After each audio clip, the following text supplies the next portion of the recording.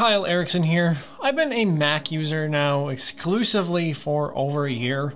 Uh, I sold my PC and decided to buy a Mac Mini instead, and I don't have any regrets in that decision, but one thing that I do miss a little bit is gaming on a PC. I think that we can all agree that Macs are amazing for creative work and productivity, but they aren't exactly the greatest for gaming. I've been lucky enough to have consoles to game on, but one thing that has never really crossed my mind or come up to this point was cloud gaming. This can potentially allow you to game on your Mac without ever having to worry if you have the latest RTX 69420 graphics card.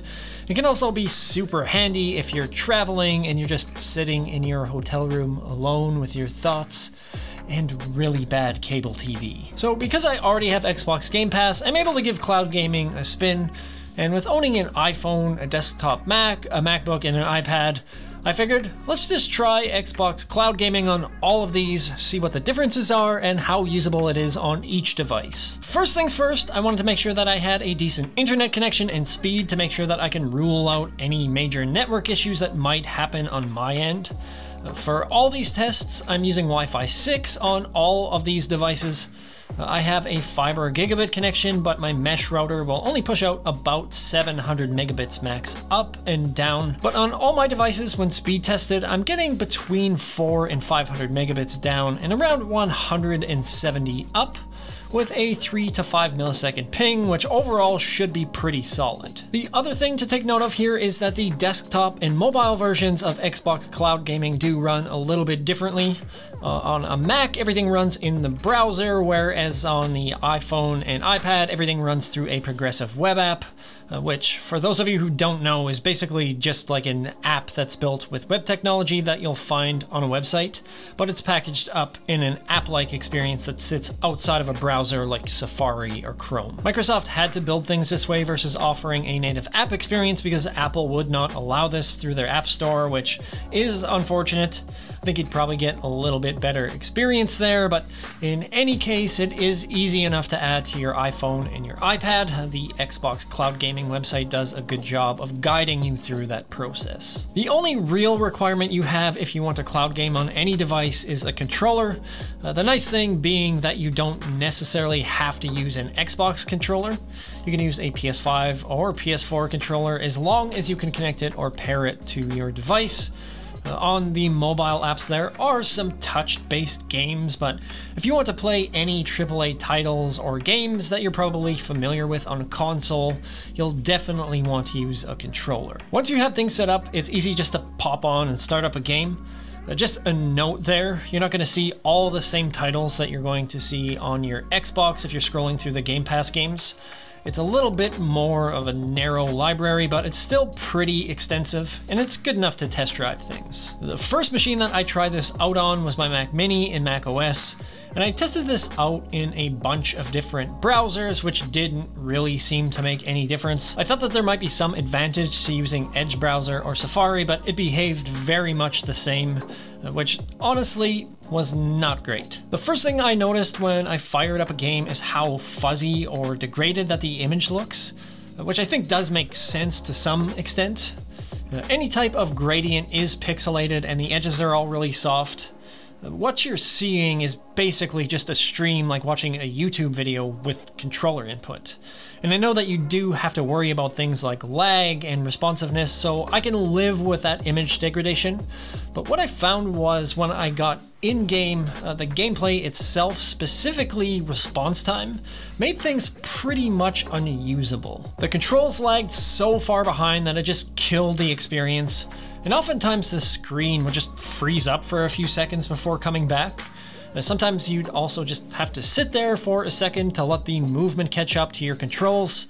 Really not ideal for any game, especially those where you're depending on sudden movements or reactions. There's no chance that you could ever play games like Forza or Halo multiplayer, but even titles that are slower and more methodic like No Man's Sky are still not enjoyable because of how far everything lags behind. I was expecting some lag while playing, but not to this extent, so from there I decided to just move over to my iPhone, which Side note, one cool thing was when I fired up the same game on my iPhone, It basically just picked up where I'd left off on my Mac Mini, which is kind of a neat feature. So I'm assuming that it's running off the same machine instance there, but in any case, the iPhone did work a lot better. The lag was a lot less noticeable and the picture didn't seem as bad. Granted, it's pretty tough to tell going from a 34 inch ultra wide down to a 5 inch screen. A lot of those little details are hard to see and are probably lost, but the games do seem a lot more playable. Uh, there's still a noticeable difference in response time from when you're hitting the buttons to when they actually show up. And there are those brief pauses at times where the screen will just freeze up for a few seconds, which can obviously kill the experience, say if you're playing a racing game where you need to be consistently monitoring your position on screen. But with single player games and games where you can take a little more time, it's definitely a lot more playable. If you want to play No Man's Sky or Halo Infinite in campaign mode or Skyrim here, it's totally doable. You could probably manage to go through a game without too much frustration. Uh, overall, it's just a lot better than the web experience. The same goes for the iPad, which makes sense since iPad OS is just basically iOS. I found the experience pretty much the same, except you get a bigger screen, which is a huge plus, and the sound is a lot cleaner, at least on my iPad. With a bigger screen, you can see a few more of those image compression issues show up that you do see on desktop, but the picture still does look a lot cleaner than on the Mac Mini. Recently, there have been some upgrades to these iPhone and iPad apps, which has cleaned up issues people are having and smoothed out the experience a lot, but for me to actually use this, I'd still need to see some improvements. I still find it pretty awkward, even with a bit of lag that it does have. Uh, even navigating through things like on-screen UI can be a little bit jerky, and there are times when things just freeze up for a second or two. And you know at some point it's going to happen at a really inopportune time, so that's something that would need to be cleared up for me to seriously consider using this on iPhone or iPad, uh, even with the jump in performance from the desktop browser. Finally, my 16-inch MacBook Pro, which was the machine that I was really hoping that this would work on the best, because it does have a beautiful screen and really great sound. And I have noticed that it usually has a little bit better network performance overall, but predictably it behaved just the the same as the Mac Mini. Uh, very choppy, slow lag, and just overall not a good time. I think on all Apple devices, this is going to be a really difficult technical challenge. Uh, this stuff is all still in beta, so the best that we can hope for now is to see some big jumps in making this cloud platform more playable. The problem is you'd really want to see these run on native applications that aren't web-based to be as performant as possible, and I just don't see Apple letting that happen. Uh, that would probably destroy any profits Apple Arcade makes. As it stands right now, I just can't get into it. I know that doing something like cloud gaming is probably an insanely difficult problem to solve, even if we did have native applications.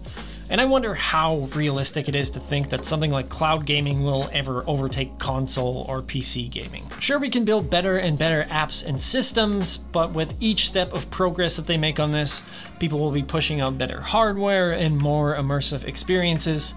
And I'm not sure how you'll ever match that in the same way that you can gaming on your own hardware. I guess time will tell, but for now there really is no substitute for gaming on a physical machine.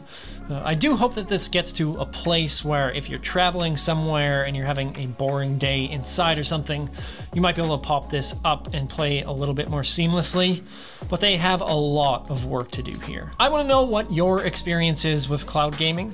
Uh, have you tried it? Did you have a similar experience, either with Xbox clouding or Stadia or whatever it is? Uh, drop a comment down below along with anything that you'd like to see show up on this channel.